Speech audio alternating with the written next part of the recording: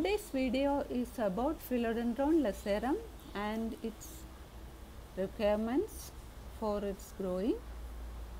This is a variety of Philodendron, beautiful leaves with this this type of it's not very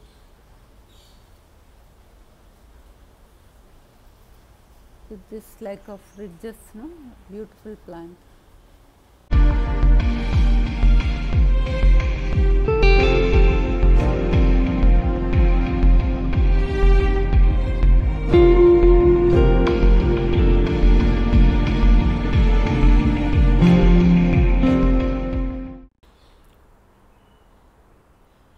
Hi, welcome to KV's Plants and Orchids. This is the Philodendron lacerum. It is a popular philodend philodendron variety with its giant elephant ear, ear-like leaves and sometimes it is called a giant elephant ear also. It is large houseplant with big green glossy leaves ideal for a lovely corner. See the new leaves are light green. This is another. Once they mature, it becomes dark green. Actually, this uh, I had a big plant in the ground I was growing, and due to some reason, it I couldn't save the plant, and then this small plants appeared nearby the root. So I I just took them and I am growing in a pot now. So if you grow them in the ground, the leaves will be very very big. Now they are not that big, but still they are bigger than my hand. You could see beautiful, like see the serration of the plant. So it, lo it looks very beautiful. It is an indoor plant. It doesn't need much sunlight also we will see all the requirements of this plant growing. It need a rich soil mix which drains properly but stays moist. So, you can add some coco peat to the soil mix when you plant them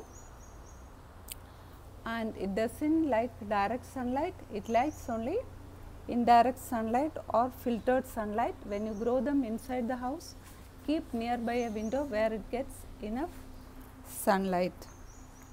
It is a tropical plant, so it likes humidity. Humidity is very important for this plant to grow nicely.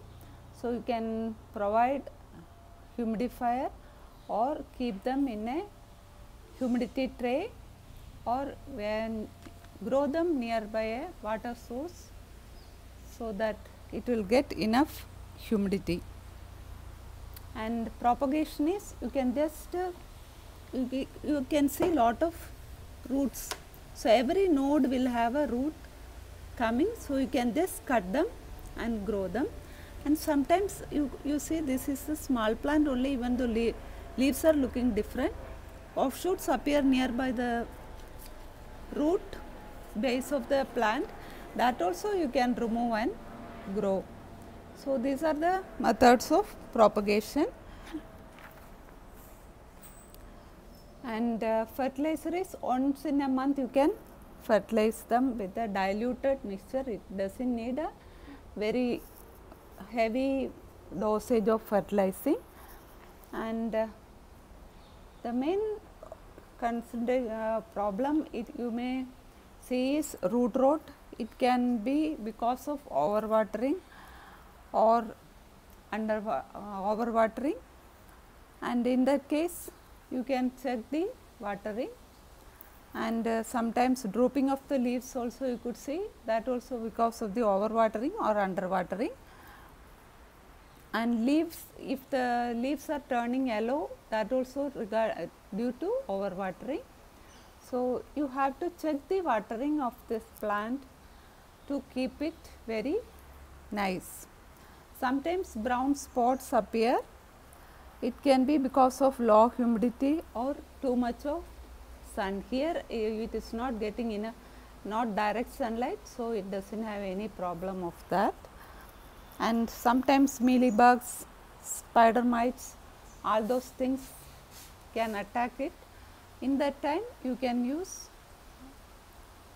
neem oil fertilizer neem oil uh, spray.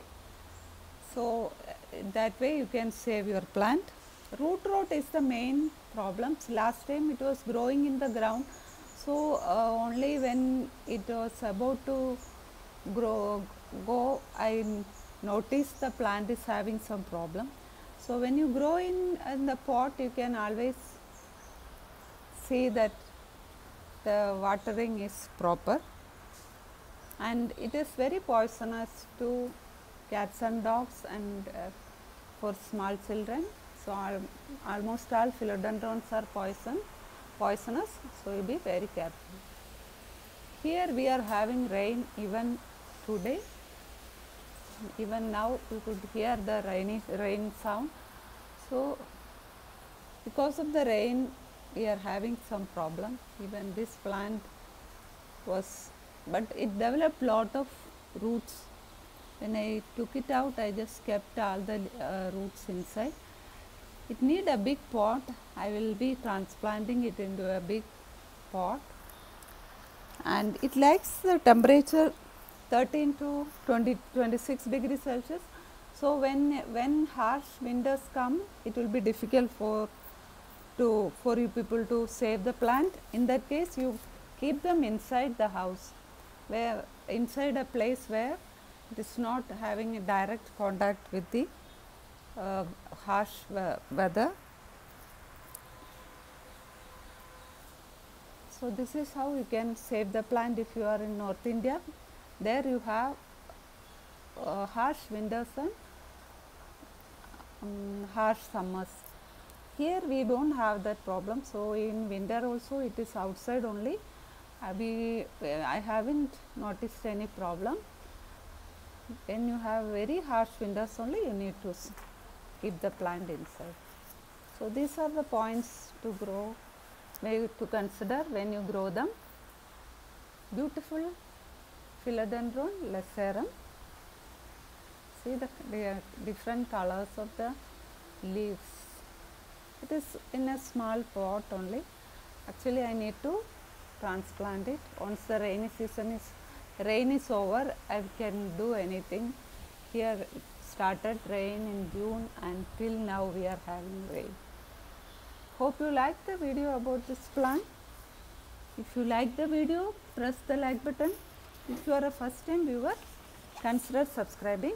Thank you for watching.